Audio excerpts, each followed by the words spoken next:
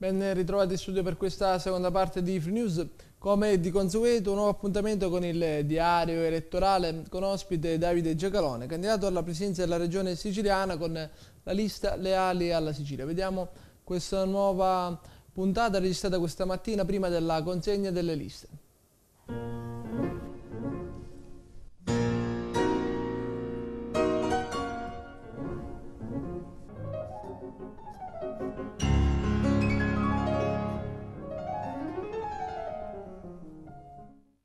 Oggi si chiudono le liste dei candidati, i giochi alle 16 saranno fatti. Possiamo fare una valutazione del lavoro svolto finora dalla lista che lo sostiene, le ali alla Sicilia? Allora, eh, la chiusura delle liste, la presentazione delle candidature è uno degli esempi di burocrazia demenziale di questo paese che serve solo ed esclusivamente a rendere più difficile la vita a quelli che vorrebbero fare qualcosa per la comunità. È ovvio naturalmente che non è che tutti che si svegliano la mattina possono presentare delle liste, altrimenti ci troveremo di fronte a delle lenzuoli al posto delle schede elettorali.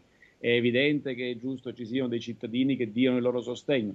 Quello che non ha senso è che ciascuna firma accompagnata dai uh, eh, documenti debba essere corredata da una serie impressionante di autentiche certificati elettorali. Ora, voglio dire, se, qualcuno, se io firmo la lista di un'altra persona e consegno la copia del mio documento, la semplificazione burocratica deve dire che la mia buona fede è salva.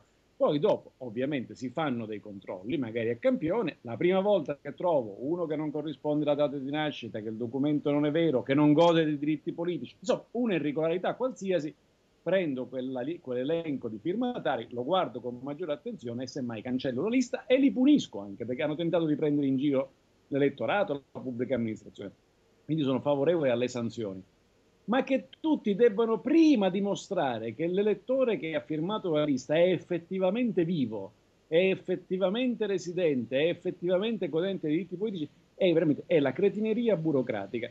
Finché riguarda le liste, amen, voglio dire, gente adulta e vaccinata anche se stiamo correndo come pazzi. Però la stessa cosa capita con le imprese, con le persone che cambiano residenza, con i cittadini che hanno bisogno di un'autorizzazione e questo è demenziale. Bisogna fidarsi dei cittadini e chi naturalmente imbroglia deve pagare. Dunque, i nostri telespettatori hanno ormai imparato a conoscerla in queste, in queste settimane.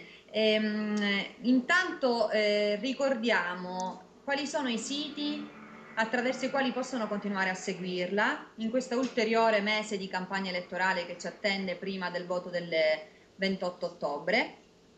Esatto, allora il sito principale, poi il nome è sempre lo stesso, è Leali alla Sicilia. Nel caso del web è www.lealiallasicilia.it, nel caso di Facebook è il gruppo Leali, eh, nel caso di eh, Twitter uguale, eh, su Facebook trovano anche il sottoscritto, da, come Giacalone Presidente, la stessa cosa trovano su uh, Twitter e, e, e, sul web trovano anche www.davidegiacalone.it, quindi trovano, di tutto, trovano più di quello che avranno voglia in qualche modo di leggere. Adesso comincia, uh, adesso, da domani mattina comincia la campagna elettorale vera e propria, uh, quindi tra l'altro comincia anche il regime di par condicio, il che significa che tutti i candidati, tutti i gruppi devono avere più o meno lo stesso, teoricamente dovrebbe essere esattamente, ma insomma più o meno lo stesso spazio. E chissà che questo in eh, Sicilia possa avvenire adesso finalmente. Io ne dubito, nel senso, ne dubito, nel senso che in realtà il vantaggio economico spaventoso dell'investimento fatto in questo mese che abbiamo alle spalle, cioè a settembre, eh, ovviamente lascia il segno. Però io spero veramente che la necessità, l'obbligo del confronto porti gli altri anche a parlare di qualcosa e non solo di un sogno, una promessa, l'onestà, cioè sì, vabbè, ma che si mangia oggi a pranzo? Ecco, se magari riuscissimo a parlare di cose concrete saremmo tutti più felici. Questo mese di campagna elettorale come intende sfruttarlo? Incontrerà sempre più cittadini? Allora, guardi, io personalmente sarei ancora affezionato alla, alle cose un po' d'antan, cioè mi farei volentieri il, il, giro delle piazze a incontrare i cittadini, ma non si, usa, non si usa più.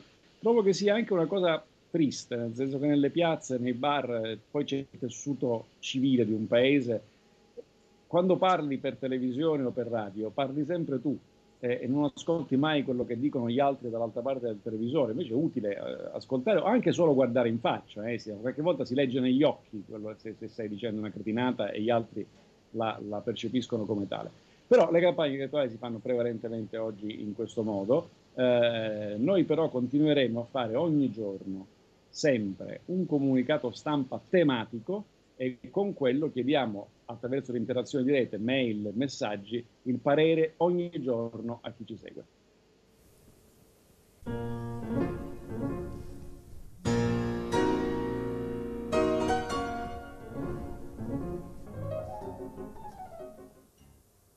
E ci occupiamo adesso del MUOS, fine settimana denso di appuntamenti, quello che si preannuncia in provincia. Domani infatti è la giornata regionale di mobilitazione contro il sistema di antenne satellitari. Tutto pronto per domani. In tutta la regione i comitati NOMUOS si stanno organizzando in occasione della giornata regionale di mobilitazione contro il sistema di antenne satellitari in via di installazione a Niscemi. Anche la provincia di Ragusa risponde all'appello. Domani infatti il comitato di base NOMUOS ha organizzato uno sciopero degli studenti delle scuole superiori con assemblea pubblica in piazza San Giovanni a Ragusa. Nel pomeriggio poi i membri del comitato si sposteranno a Comiso dove si incontreranno con gli altri comitati della provincia. Tutti insieme dalle 15 manifesteranno davanti all'aeroporto Casmeneo. Dalle ore 17 la protesta si sposterà in piazza Fontediana per comunicare con i cittadini, informarli e per raccogliere firme.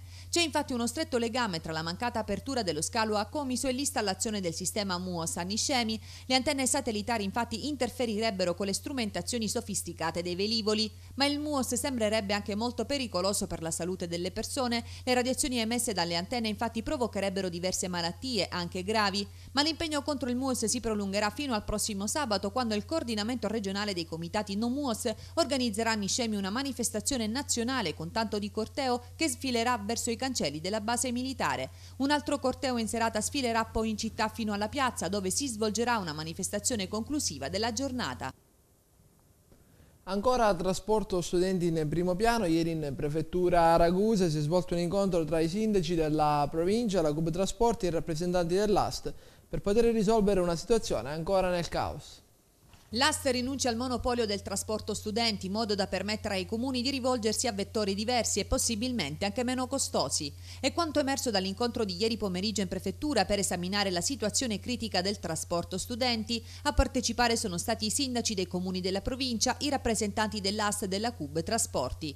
Non si è dunque fatta attendere la risposta da parte del prefetto di Ragusa Cagliostro alle varie richieste di intervento per risolvere una situazione rimasta bloccata. Il prefetto ha dichiarato di volere coinvolgere Trenitalia e l'assessorato regionale alle infrastrutture, i cui dirigenti regionali però verranno coinvolti in seguito. A loro sarà avanzata una proposta precisa, il coinvolgimento pieno di Trenitalia nel trasporto studenti e l'attivazione di abbonamenti a prezzo politico con il contributo della regione. I sindaci da parte loro hanno sottolineato come l'AST non sia più in grado di assicurare nella sua totalità il servizio, rendendo necessaria una gara d'appalto con altre ditte, ma senza la rinuncia dell'ASSI i comuni non riceveranno i rimborsi regionali che già arrivano con 3-4 anni di ritardo e non coprono nemmeno tutte le somme anticipate. Da Comiso e Vittoria è emersa l'intenzione di volere continuare a fare spostare gli studenti dei loro comuni con il treno, che oltretutto costa di meno. La Cub Trasporti dal canto suo ha ribadito che il trasporto su gomma da chiunque gestito debba effettuare servizi da e per i comuni non serviti da ferrovia e si deve occupare dello spostamento urbano stazioni-scuole, mentre il trasporto ferroviario deve essere l'unico vettore per gli spostamenti da quelle città in cui esiste una stazione ferroviaria.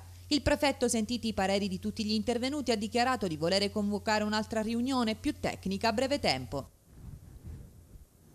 Seduta speciale questa mattina del Consiglio territoriale per l'immigrazione di Ragusa. Durante l'incontro si è svolto anche un seminario dedicato alla lotta alle discriminazioni. Si è svolta questa mattina presso la Sala Avis di Ragusa una seduta del Consiglio territoriale per l'immigrazione. Nel corso dell'appuntamento si è svolto il seminario conclusivo del progetto europeo Discrimination in Cities dedicato alla lotta contro la discriminazione. In particolare il seminario il cui tema era Consiglio territoriale per l'immigrazione quale ruolo nella promozione dell'eguaglianza, ha avuto come obiettivo quello di analizzare il ruolo e la potenzialità del Consiglio territoriale per l'immigrazione nel promuovere l'eguaglianza nel territorio di Ragusa. All'ordine del giorno inoltre la presentazione dei progetti a valenza territoriale ammessi al finanziamento in provincia di Ragusa a valere sul Fondo europeo per i rifugiati e sul Fondo europeo per l'integrazione. Il Consiglio territoriale è poi proseguito con un focus sulla procedura di emersione dei rapporti di lavoro irregolari subordinati riguardanti tutti i settori lavorativi che ha avuto avvio il 15 settembre ed è in corso di inserimento fino al 15 ottobre. Bene, per questa edizione è tutto, vi ricordo che potete seguirci pure sul nostro sito freetvallano1.it e sulla nostra pagina Facebook FreeTV Comiso. Vi auguro una buona serata.